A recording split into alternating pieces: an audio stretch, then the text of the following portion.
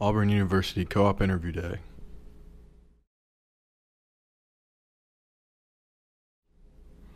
Located at the hotel at Auburn University, interviews conducted in the Dixon Conference Center. 30 minutes long, over 100 companies. Come prepared. Now let's hear from some of our students. What benefits do you expect to receive from co oping? I expect to receive from co oping the benefits of uh, experience. I get to learn what part of my major I want to do with the rest of my life, what I love, what I hate. Um, I get to get work in different work environments and meet new people, interact with others, and so they can help me in the future if I need their help. They majority of them they hire their co-op students after their rotations. So ultimately, I'd like to have a full-time job after all of these. Co-oping already has so many great benefits. I mean, it's hard to go wrong with co-oping. You get paid for the work you do. You get more experience in your field to solidify if you really think this is what you want to do, and plus at the end, you might even get a job opportunity. How did you prepare for your interviews today? Um, so today, before interviews, I kind of just looked at the companies, went to their websites, and kind of checked them out. Saw what um, things they were interested in, like what they built. So, like, was it commercial or government or healthcare? So, if you just kind of get an idea of who the company is from their website, see their mission statement, see their core values, then you kind of get an idea for what they're looking for, and then you can also see like how you would fit into the company as well. Uh, I researched a lot about the companies. Uh, and then I had my roommate uh, ask me a bunch of common interview questions, and then I had him grade me like on a scale of one to ten and tell me what I did wrong, things like that. What do you think of the interview process so far?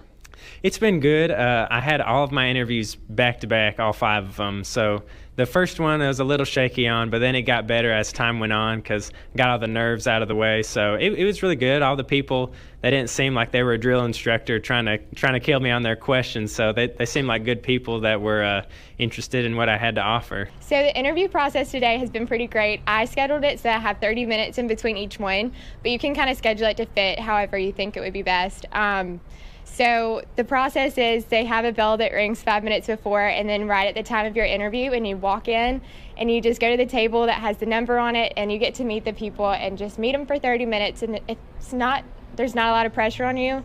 Um, you kind of just answer their questions, and it's very personable. You get to relate to them um, and just see what kind of people you would be working for. It's not very formal where you have to sit down and just answer questions. You get to actually talk to the employers and see how um, see how you'd fit. I think it's been really fun, surprisingly.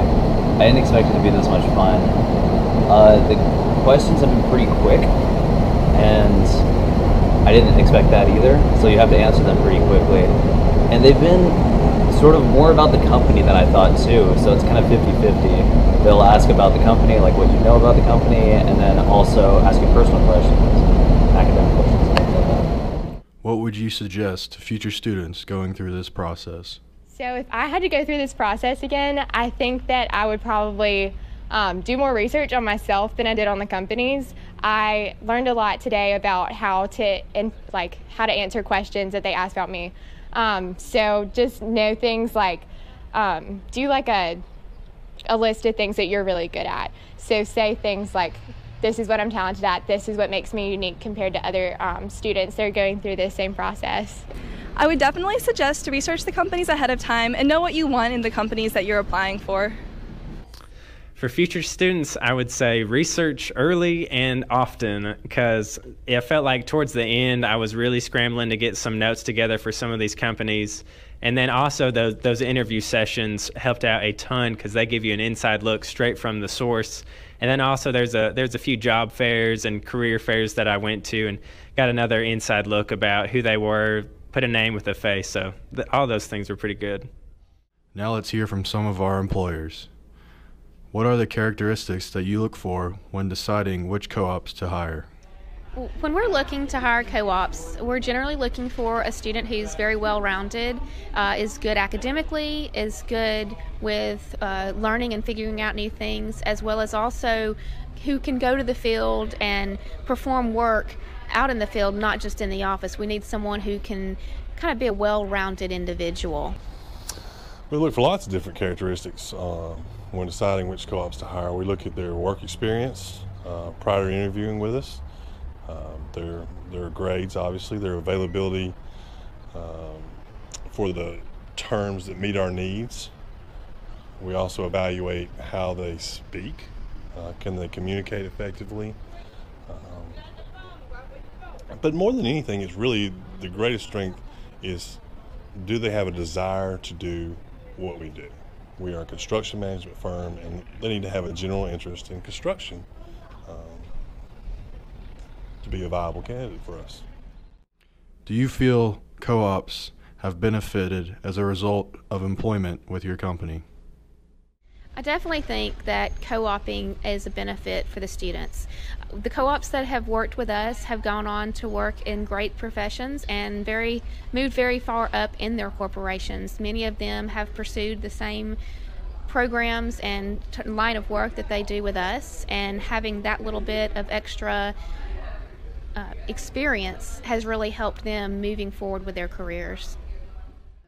At graduation time, when you are considering candidates for full time positions, how do you respond when you see a job candidate has co op experience? When I'm looking at uh, graduating seniors uh, in consideration for for full time employment, um, like I said, we that is our preferred method is looking at co-ops who have co-opted for us.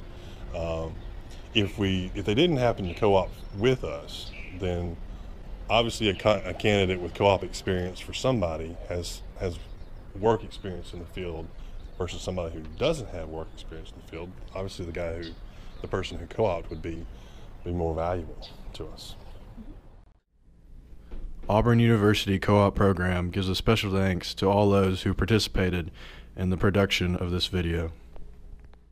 This video was created by student assistant Preston Fitro.